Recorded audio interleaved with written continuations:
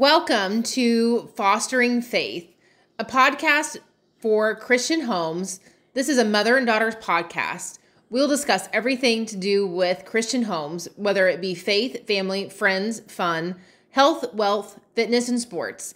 Get ready to come along with us as we walk through life together, as we talk about daily struggles, what it is to be a Christian in middle school as an adult as a professional woman, as someone that plays sports.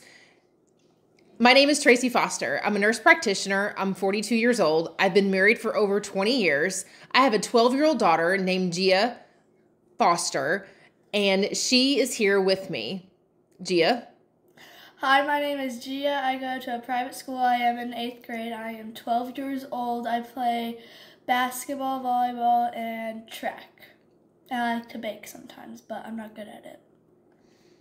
And so, as we walk through this podcast, we are going to get to know each other a little bit more and how to walk through life situations in a Christian faith. So, come with us and have fostering faith with us.